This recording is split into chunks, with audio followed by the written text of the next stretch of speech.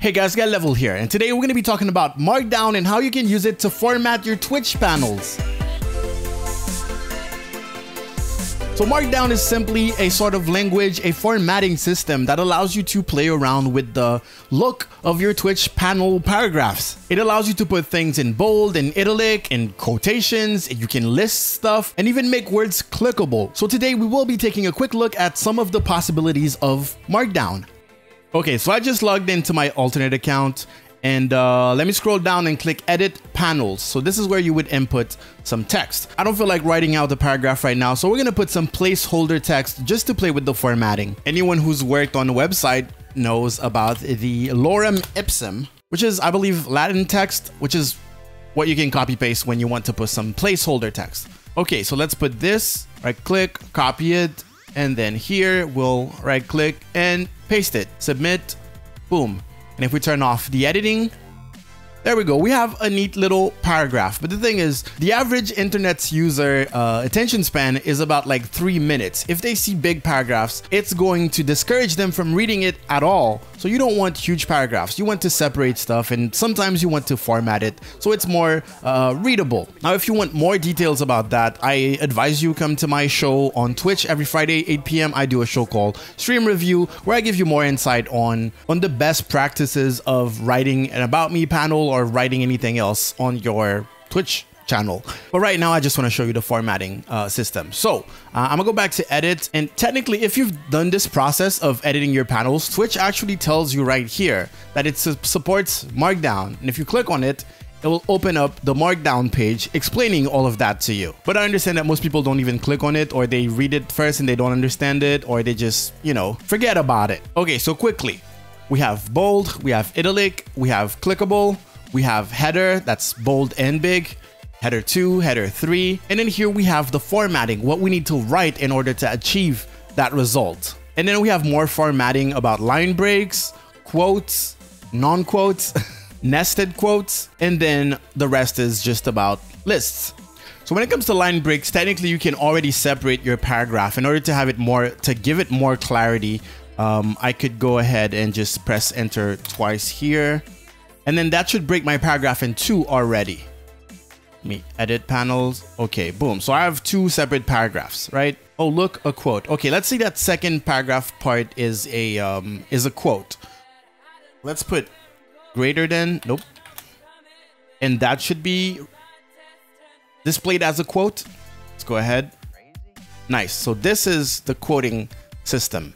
It's like, hey, that's a quote. What else do we have? Nested quote.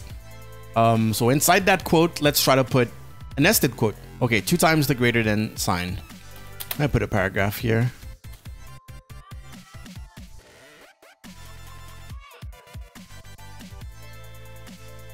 Okay, nice. So you have to put it in a separate paragraph. So we have a quote and a nested quote. Now we can try the other types of uh, emphasis. We have the bold text, that's two asterisk, like this word. So I'm gonna put one, two, one, two. Submit. I really don't like the extension thing. It, it just keeps you from getting to your panels. It's annoying. Put it at the bottom. I don't know. As you can see here, this word is in bold. All right. Italic is just one single asterisk on each side. Let's put dolor. Boom. Okay. Okay, that one is in italic.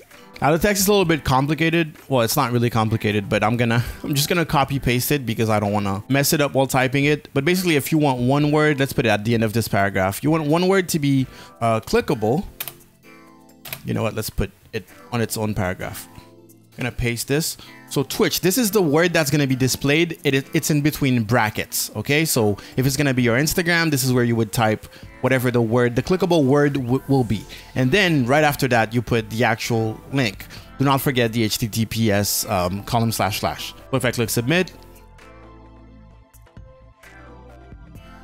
Here, I have a clickable link. If you're giving credits to an artist, for example, or sometimes people just put their social media like that, although I do recommend just having uh, separate panels for social media.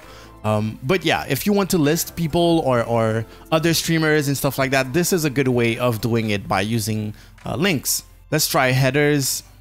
What is this? It's the pound sign or the hashtag, if you will.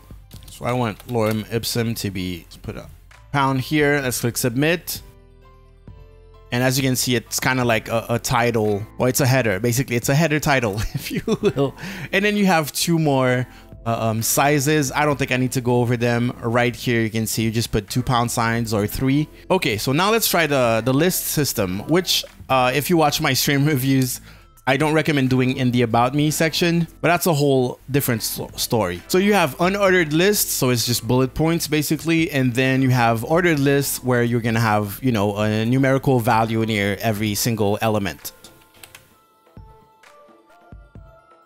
And there you go, you'll, you'll just get uh, the bullet points if you put the plus. So basically for every type of unordered list, if you want the bullet points, you can use either the plus sign, the minus sign, or the asterisk. It doesn't matter. As you can see here, it will still give you the bullet points, okay? Now, if you want an ordered list, you have to type the one, two, and three. You basically have to type the list the way you want you want it to show. Click edit panel. We're gonna copy this and place it. So if you you put the actual numbers, you submit,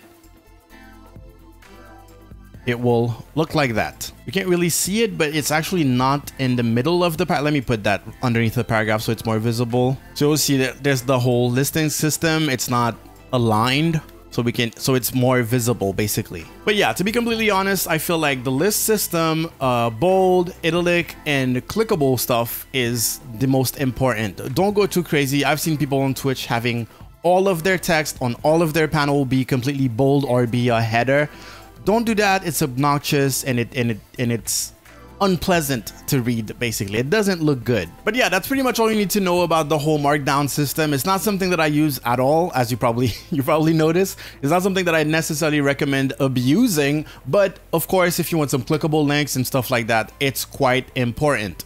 If you want to know what the twitch page will look in the future because they're working on some updates you need to click on top of your screen top right now because i made a video about the future profile pages and uh, yeah, and if you want to know how to customize your whole Twitch channel from the banner, the offline image, the avatar, the, the panels, and everything, you need to click now uh, because there's going to be a video on how to customize all of that from scratch. And uh, to be fair, if you have any questions about Twitch, I probably made a video about it. So just type my name and then type the keyword or just click on my name here and scroll down the channel. You'll probably find something that is interesting that you didn't know before. That being said, if you're looking for some dope overlays to make your Twitch channel look good, that are cheap or even free, uh, go to gumroad.com slash gael level. This is where I keep them.